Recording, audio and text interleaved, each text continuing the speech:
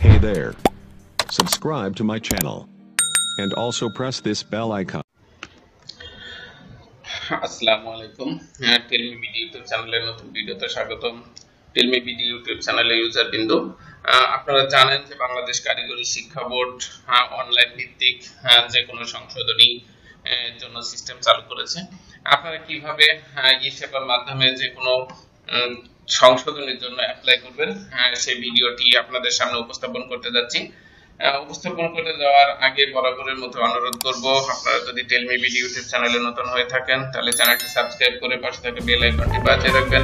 আর পূর্বে যদি চ্যানেলটি সাবস্ক্রাইব করে থাকেন তাহলে আপনাদেরকে অসংখ্য ধন্যবাদ। আর কথা না বাড়ি আমরা দেখব বাংলাদেশ কারিগরি শিক্ষা বোর্ডের ই মাধ্যমে কীভাবে আপনাদের এসএসসি ভোকেশনাল দাখিল ভোকেশনাল ডিপ্লোমা পর্যায়ে এইচএসসি ভোকেশনাল পর্যায়ে সহ বিভিন্ন স্বল্প মেয়াদী বা শর্ট কোর্সের যে কোনো সার্টিফিকেট রেজিস্ট্রেশন কার্ড কীভাবে আপনারা সংশোধন করবেন সেটি আমরা পুন- আপনাদেরকে স্টেপ বাই স্টেপ দেখাবো। আপনারা ভিডিওটি স্কিপ না করে প্রথম থেকে শেষ পর্যন্ত মনোযোগ সহকারে দেখবেন।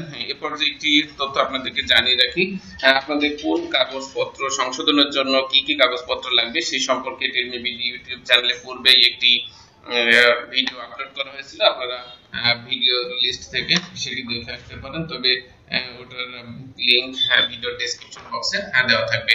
কথা না বাড়িয়ে আমরা চলে যাই আমাদের মূল কাজে। এর জন্য আমাদেরকে প্রথমে যে কাজটি করতে হবে, যে একটি ব্রাউজার সিলেক্ট করতে হবে। আমি একটি ব্রাউজার সিলেক্ট করলাম। ব্রাউজার সিলেক্ট করলে, করলাম ফায়ারফক্স এরপরে আমরা সার্চ বারে লিখব বি টি ই বি লিখে ইন্টারফেস করব। ইন্টারফেস করলে আমাদের সামনে কারিগরি বোর্ড বোর্ড অর্থাৎ বাংলাদেশ কারিগরি শিক্ষা বোর্ড চলে আসবে। আমরা এই লিংকে ক্লিক করলাম, উপরে যে লিংকটা ক্লিক করলে আমরা দেখব আমাদের সামনে বাংলাদেশ কারিগরি শিক্ষা বোর্ডের যে মূল ওয়েবসাইট সেটি উপস্থাপিত হয়েছে। আমরা এখান থেকে ডান দিকে ই সেবা নামক যে অংশটুকু দেখছি ই সেবা তে ক্লিক করব। ই সেবা ক্লিক করলে আমাদের সামনে ই সেবার যে অপশনটি রয়েছে সেটি চলে আসবে। যে কোনো সহযোগিতার জন্য অফিস চলাকালীন সময়ে যোগাযোগ করার জন্য একটি নাম্বার রয়েছে।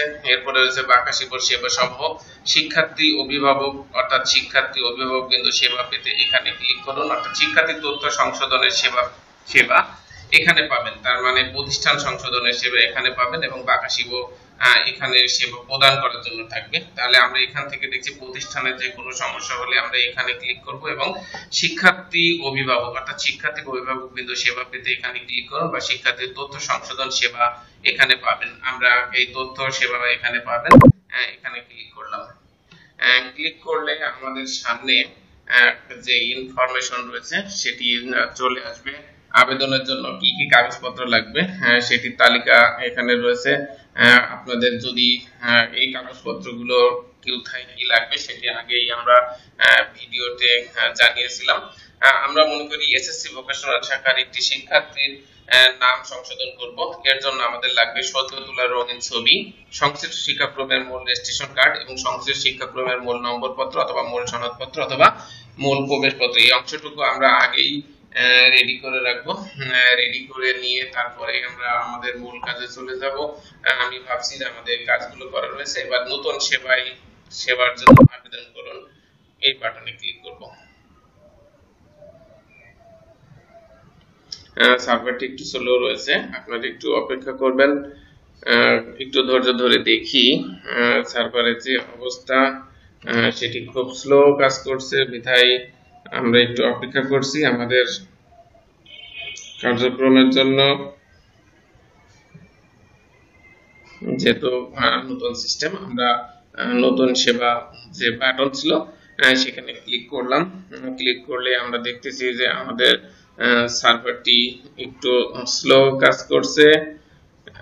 বিধায় আমরা সেটি নিয়ে অপেক্ষা করছি। আপনারা দেখছেন যে এই ধরনের একটি ইন্টারফেসে প্রথমে রয়েছে অথরাইজেশন এরপরে dashboard application information upload attachment review application এবং পেমেন্ট আমাদের এই স্টেপগুলো অথরাইজেশন হয়ে যাবে, তারপর ড্যাশবোর্ডে যাবেন, এই স্টেপটি কমপ্লিট করবেন অ্যাপ্লিকেশন ইনফরমেশন আপনারা কি জন্য অ্যাপ্লিকেশন করছেন, সেই তথ্যগুলো ফিল আপ করবেন আপলোড অ্যাসাইনমেন্ট অর্থাৎ ওই কাগজ থেকে যে কাগজগুলো রাখবে, সেই কাগজগুলো অ্যাটাচ করবেন এবং রিভিউ অ্যাপ্লিকেশন অ্যাপ্লিকেশনটা দেখবেন হ্যাঁ দেখার পরে পেমেন্ট সামারি অপশনে ক্লিক করলে আপনাদের এটি টিটি স্লিপ বেরোবে, সেটি দিয়ে আপনারা আপনাদের কাজটি সম্পূর্ণ করতে পারবেন আর এভাবে আপনাদের যে কোনো সংশোধনের জন্য আবেদন করতে পারবেন বলে মনে করি।